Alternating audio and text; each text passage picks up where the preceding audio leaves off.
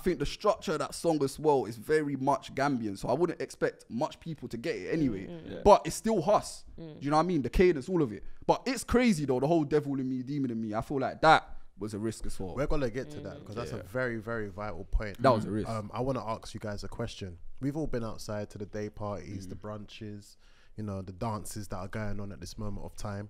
People will argue and say there are three songs of the summer right now: Taliban's, Sprinter, and Who Told You. We're gonna take Taliban's out of there and focus on the UK side of things. In your personal opinion, what is the track of the summer? Who Told You or Sprinter? Sprinter hands down. Really?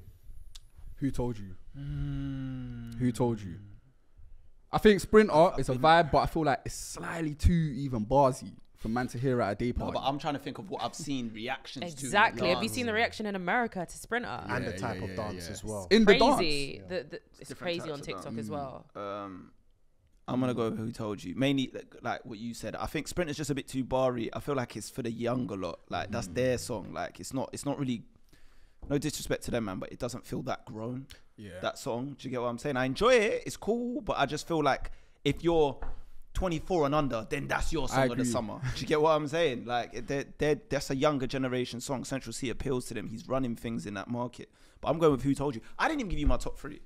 Oh yeah, go through, my guy. Sorry. My top three, number one right now, because it obviously it can change. But where I'm in the moment right now, masculine's number one. Okay. Masculine's number one. Number two for me was Problem Fixer. And number three for me was Nice Body with Jorja Smith. It's a very unorthodox pick. Yeah. man, I'll be honest. Why?